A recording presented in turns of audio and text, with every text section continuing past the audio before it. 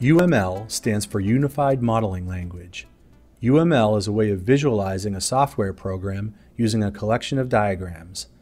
It is accepted by the Object Management Group as the standard for modeling software development.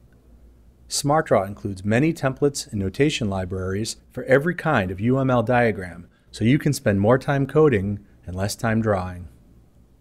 The current UML standards call for 13 different types of diagrams, which are organized into two distinct groups structural diagrams and behavioral or interaction diagrams. Structure diagrams emphasize the things that must be present in the system being modeled, and they include class diagrams, package diagrams, object diagrams, component diagrams, composite structure diagrams, and deployment diagrams. Behavior diagrams emphasize what must happen in the system being modeled, and they include activity diagrams, sequence diagrams, use case diagrams, state diagrams, communication diagrams, interaction overview diagrams, and timing diagrams. To begin, select Software Design from the list of visuals and click on the UML diagram template. In the Smart panel, you'll find all of the commonly used UML symbols. Just drag a shape into the work area and type to add text. Select another symbol and click one of these arrow buttons to add the shape in any direction or select the symbol and drag it to where it belongs and it snaps into place. With a line selected, drag on this diamond shape to change the length of the line. Or right-click on the line to change its thickness, style, or arrowhead direction.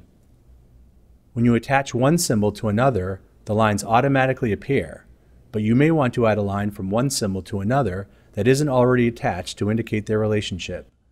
To do this, select this line tool choose a line shape, then click on the first object, and then the one you want to connect it to, and the line anchors into place.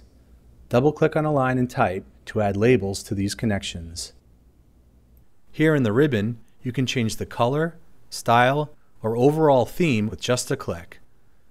UML objects that specify operations and attributes are depicted as tables with rows.